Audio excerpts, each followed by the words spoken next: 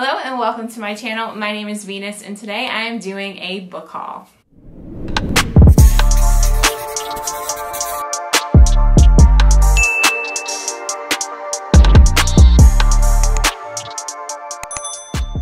So these are the books that I have hauled from March, April, and some books that I've received in May. They were new releases that I've received already, and some of them are library books. Most of them are from Barnes & Noble and Amazon though. So it is a mix of genres. I have a couple nonfiction, I have a couple middle grade. There are fantasy, thrillers, horror.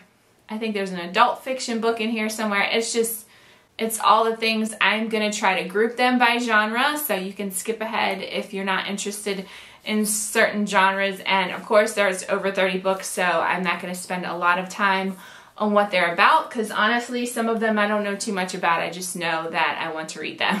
So let's get started. So I'm going to start with the two nonfiction books. These are astrophysics books. The first one is Astrophysics for People in a Hurry and the second one is Letters from an Astrophysicist. And both of these are by Neil deGrasse Tyson, who is an astrophysicist. I love space, love learning about it, so to try to get back into reading nonfiction books, I decided to choose books in a subject that I enjoy. I've read a lot of like leadership books and self-growth, self-help books that have burnt me out and I have no desire to read any more of them. They all basically say the same exact thing. So I am excited to jump into these. And this one, this first one, Astrophysics for People in a Hurry, is actually on my May TBR. So I will be reading this this month. And this one I really liked. It's like the companion to the first book, but people have written letters to the author and he responds to them about certain things about space and astrophysics. So I'm really excited to read these two. These are the only two nonfiction books on my call. So we're going to jump into romance. And the first three that I have, all by the same author. These are historical romance books that I thrifted, and they're by Bertrice Small. So the first one is Skye O'Malley. This is part of a series. Skye O'Malley, I think the second one in the series is a time, what is this? I can't even see it. So, A Love for All Time and All the Sweet Tomorrows. Yeah, All the Sweet Tomorrows. So this is a series. I really loved historical romance. It was kind of the one of the first genres that I fell in love with. I haven't read any in a couple months. I've been reading more of the newer authors like Tessa Dare and I can't think of anyone else right now, but um, some of my favorites, Bertrice Small was my favorite historical romance author, so I'm excited to reread these. Hopefully I love them as much as I did many, many years ago, but we will see. And Skye O'Malley is actually on my May TBR, so I'll be jumping into that soon. These next two are kind of a Instagram or a Bookstagram made me do it um, by and the first one is the fine print, and both of these are, I guess, part of a series. Uh, first one is Fine Print by Lauren Asher, and the second one is Terms and Conditions, and they are part of the Dreamland Billionaires series. All I know about this, I think the first one is like a grumpy sunshine trope, which I absolutely love when done well. And there's also an interracial couple in this too, which I love to see and I have kind of recently been hearing mixed reviews about it, but that's okay. I'm still gonna read them and see what I think. But I am super excited to read these. These are like, so this these books have like different covers. I think original covers have like humans on the front of it. I'll post pictures up if I can find them, but I actually really, really love these. I believe the main character in this first book is the CEO of a place that's very similar to Disneyland, and he's grumpy. but that's all I know, and I look forward to reading these. And the next romance book is A Part of Your World by Abby Jimenez. This recently came out, I believe, in April. I did just finish it and I loved it so much. This book centers around Alexis. She is an emergency room doctor and Daniel, who is like a small town carpenter. They're basically total opposites.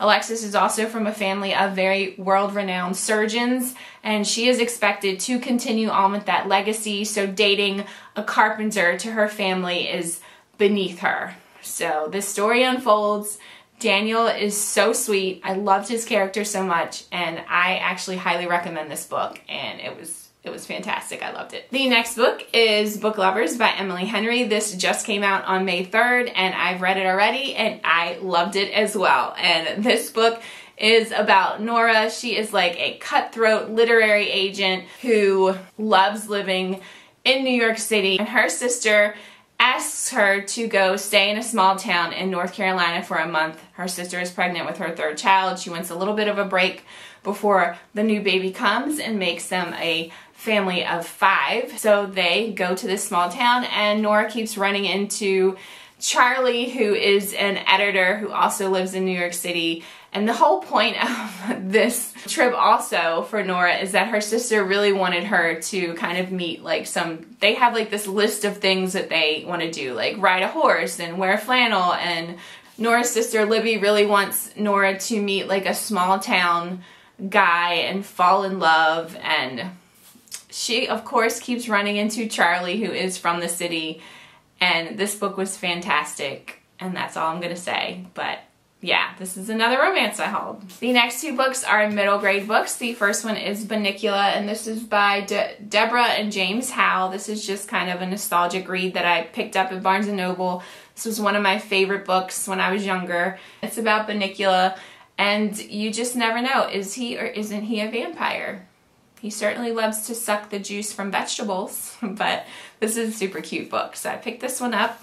And then I got the third book in the Nevermoor series, Hollowpox. I love the first two books, Nevermoor and Wundersmith, and I can't wait to continue on with this. This is a middle grade fantasy book that centers around Morgan Crow, who is like a cursed child, and she is whisked away to Nevermoor, which is a magical city, and all kinds of fun things happen. She's got a group of friends that are just hilarious and the hotel that she lives in with Juniper Jones who is one of the main characters is also it's just it's just fun times so I picked this one up too. The next group of books I'm going to talk about are thrillers and the first one this is a library book Night Shift by Alex Finlay. This just came out not too long ago I, I want to say maybe March but this centers around murders that happened at a blockbuster in the 90s.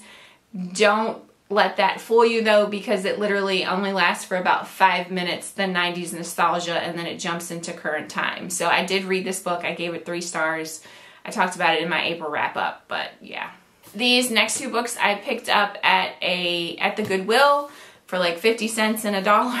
Um, but it's uh, both are by michael connelly. This first one is the night fire and the second one is a darkness more than night both of these, I believe, are part of the Bosch series. These are like crime thriller books. I love Michael Connelly's writing style. He used to be, I think, a crime reporter before he became an author and all of his books just are just so good. There's a lot of good detail behind the scenes either with the lawyers or the reporters or the detectives. He just does such a phenomenal job in these um, crime crime thrillers and I believe, or he does, he has a series based on Bosch, the character who is a detective. So I picked these up for super cheap. Thank you, Goodwill. And the next th thriller is The Paris Apartment by Lucy Foley. This was a my book of the month picks, I think from March. I don't know too much about this. It just says meet the residents of number 12 Rue, oh geez. Rue des Amants, a beautiful old apartment building in the City of Light. And then it says, everyone's a neighbor, everyone's a suspect, and everyone knows something they're not telling. I have seen mixed reviews about this, but I also saw mixed reviews about her, I think it was the guest house, which I actually really enjoyed. So I'm hoping that that is the case for this one as well. And you know, uh, the other book that I got for a book of the month back in March was the Book of Cold Cases by Simone St. James. I think this is a, a mystery thriller. This is going to actually be the first book that I read by her. I don't know too much about it. It says some crimes come back to haunt you. A true crime blogger gets more than she bargained for while interviewing a woman acquitted of two cold case slayings in this chilling new novel from the best-selling author of The Sundown Motel. I have heard really good reviews about this book. I am super excited to finally read a book by this author because I've heard wonderful things about her. And then the last book that I got for Book of the Month back in March is The Unsinkable Greta James. This is an adult fiction book, I believe, and I picked it up because it's about a musician who goes, I think, on a cruise to try to patch up the relationship with her father. And I love books about musicians for some reason. This one says an indie musician reeling from tragedy and a public breakdown reconnects with her father on a week long cruise in this pitch perfect story about the ways we recover love in the strangest of places. So that just sounded like mm, so like heartwarming. Might be a tearjerker, I don't know, but I'm looking forward to reading this one. And the next section, this is the horror books that I've um, purchased or got from the library. This first one I did get from the library, The Haunting of Ashburn Hill by Darcy Coates. I keep seeing this author's name everywhere and I just decided that I really wanted to start reading her books and I've always see really good reviews about her books and I don't know too much about this one. I think this one might be Gabby um, from Gabby Reed's upcoming book club pick soon, I think. But it just says there's something wrong with Ashburn House. Everyone knows about Ashburn House. They whisper that its old owner went mad and restless ghosts still walk the halls. But when Adrian, desperate and in need of a place to stay, inherits the crumbling old mansion, she only sees it as a lifeline until darkness falls. That sounds creepy as hell. And the cover is super creepy. and then the second book that I actually purchased because of this cover, this was a cover by, um, but this is also by Darcy Coates and it's called The Carrow Haunt. And this one says, the dead are restless here. Remy is a tour guide for the notoriously haunted Carrow house.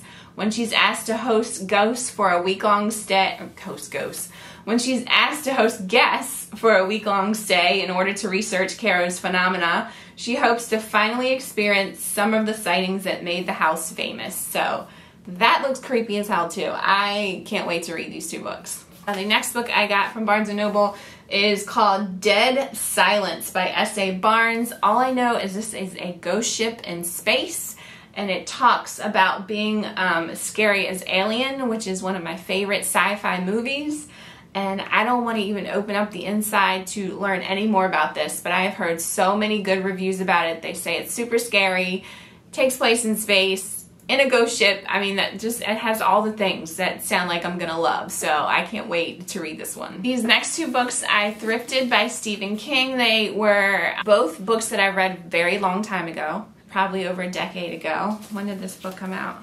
2002. So this one is From a Buick 8 by Stephen King. I just remember really, really loving this book. This was kind of like when I was on like the Stephen King kick many years ago and I love this book. So I didn't have a copy of it. I believe I borrowed it from the library um, back in the day. So I really wanted a copy of it and I plan to reread it. I honestly cannot remember what it's about at all. It just has to do with a car. It's not like Christine, but I can't wait to read this again. I just remember having, I think this book scared me actually, uh, but we'll see. I will probably talk about it in a vlog at some point, but yep, I love this book. I love the cover.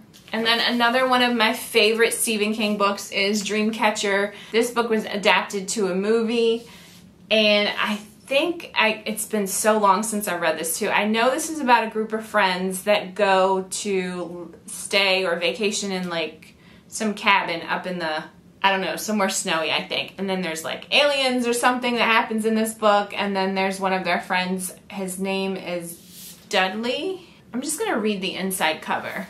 Cause, yeah, because I've already read this book. I just don't really remember it that much. But once upon a time in the haunted city of Derry, site of the classics It and Insomnia, four boys stood together and did a brave thing, certainly a good thing, perhaps even a great thing, something that changed them in ways they could never begin to understand. 25 years later, the boys are now men with separate lives and separate troubles, but the ties endure. Each hunting season, for this foursome reunites in the woods of Maine. This year, a stranger stumbles into their camp, disoriented, mumbling something about lights in the sky. His incoherent ravings prove to be disturbingly prescient. Prescient? I don't know that word. Before long, these men will be plunged into a horrifying struggle with a creature from another world. Yes, this book. I just remember loving this book so much. So I can't wait to reread this one and probably watch the movie again afterwards because it has Donnie Wahlberg in it and I'm a dork and used to be a New Kids on the Block fan. Well, still am, but yeah, so I will probably rewatch the movie too. The last uh, horror thriller book on my haul is Sundial by Catriona Ward. She is the author of The Last House on Needless Street, which is a book that I absolutely loved last year. It was part of my top 10 reads of last year. This one, not quite so much. I didn't enjoy it. I think I gave it like three stars. It was just okay for me. It's about Rob, a woman who has two children and a jerk husband and her daughter Callie starts doing some disturbing things and she decides to take Callie back to Sundial where she was raised and a whole bunch of weird stuff happened. It's kind of a split timeline. It goes back and forth from when Rob was younger to current time and it was just okay. There was a couple twists in it. There is some trigger warnings for animal cruelty, so please make sure you check that out if you decide to read this. But it was okay. I think a lot of people did enjoy it. Um, I think it has pretty good reviews, but for me it was a little underwhelming. So the last section of this haul are my fantasy books. This one I got from the library. This is American Gods by Neil Gaiman. This was on a table in my library where librarians recommend books and I keep seeing Neil Gaiman but I've never read any books by him. I think this is also like a movie or a show, I'm not sure. I don't know really anything about this book. Some of the blurbs say pointed, occasionally comic, often scary, consistently moving and provocative. American Gods is strewn with secrets and magical visions. That's USA Today. And Washington Post says mystery, satire, sex, horror, poetic prose. American God uses all these to keep the reader turning the pages. So I, I don't know. Oh, it's a series on Starz because it says it right there. But yeah, I don't know anything else about it. It's pretty chunky. Oh, not too bad. It just has really small print, but... Uh, another library book that I have is Shorefall by Robert Jackson Bennett. I just finished the first book in this trilogy called Foundryside uh, a couple months ago, I think, and it was it was okay for me. The author just spent a lot of time going into detail about the magic system in this book, but I did otherwise really enjoy the story, and I do have an arc for the third book in this series, so I am going to try to get to that as soon as I can um, because it comes out next month. So uh, this book is about scribing, basically taking objects and um, scribing like ruins on them to make them do things that they wouldn't normally do, which is a super cool concept. Again, he just spends way too much time talking about it, but I did love the characters in this book. I do like his writing style. I'm hoping that it gets better, but unfortunately I have heard recently from quite a few people um, that the second book isn't much better. So that I don't that makes me sad because this is this is just a big book. So maybe I'll listen to this one on audiobook if I can get it. But yeah, so I got this from the library. So this next one is called Promise of Blood by Brian McClellan. And this one was actually also on that table recommended by Jake from my library. And I've seen this cover um, and this book reviewed quite a few places and I heard really good things about it. So I am excited to read it. I do love this cover. I don't know anything about it. So on the back, Brent Weeks, uh, who wrote Lightbringer series, I'm pretty sure, says Promise of Blood is a hugely promising debut. Guns, swords, and magic together. What more could you want? How about tense action, memorable characters, rising stakes, and cool, cool magic? So I can't wait to read this one. This one I picked up at Barnes & Noble and this is called The Justice of Kings. I'm pretty sure this just came out recently. I have seen quite a few good reviews about this too. This is, was also a cover by because I love this cover. But I don't know anything about it, I'll be honest. Um, yep, don't know anything about it. It says, the empire of the wolf simmers with unrest. Rebels, heretics, and powerful patricians all challenge the power of the imperial throne. Only the order of justices stands in the way of chaos. Sir Konrad Vonvalt is the most feared justice of all, upholding the law by way of his sharp mind, arcane powers, and skill as a swordsman. At his side stands Helena, Sedanka, his talented protege, orphaned by the wars that forged the empire. That's all I know. But it looks good, it sounds good, it's got good reviews, so I can't wait to read this one. And this one, I am so excited that Brandon Sanderson put these three novellas in this collection. I have not read them yet and I need to get to them before I read Cytonic, but it's a collection of short stories, Sunreach, Re, Sunreach, Redawn, and Evershore.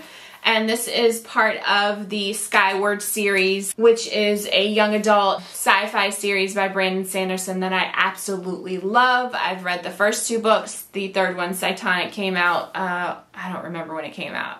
I think November maybe. But there's these three novellas that you should read before starting that, I've been told. So I was so excited when I saw this that it was in a bound up because you can get these on ebook, but I'm I like to have the the actual hard copy, so can't wait to jump into these. And even for novellas, this book is massive. Gosh, it's over 600 pages, so Thanks, Brandon. And I did read an arc of The Hunger of the Gods by John Gwynne, but I had to have a physical copy of it. I loved it. I have a reading vlog for that I will post up, but this is Norse-inspired uh, fantasy, high fantasy book, and it was fantastic. And can we take a second to appreciate this gorgeous cover? It's beautiful. So, yep, had to have the physical copy of this one on my shelves. And the last two books are both by um, Michael J. Sullivan. So they're first books in two of his series. This one is The Age of Myth, and this one, this one I think has multiple multiple books in it, but this one is, yeah, volume one of the Riyria Revelations, Theft of Swords. I am really excited to read books by him. I keep, again, seeing him all over the place. Such high, high praise for his writing and I think they're set in the same world, but many, many centuries maybe um, apart, I think. But I grabbed the first one in both of these series, so I can't wait to read them. I don't know anything about it. Don't know. This one, so this one says, they killed the king, they pinned it on two men, they chose poorly. And a little blurb says, high-raising escapes, flashy sword fights, and faithful friendship complete with the formula for good old-fashioned escapist fun. Yeah, so I don't know too much about these, but I know I'm to love them because some of my absolute favorite reviewers have given these very high reviews and they have not steered me wrong except for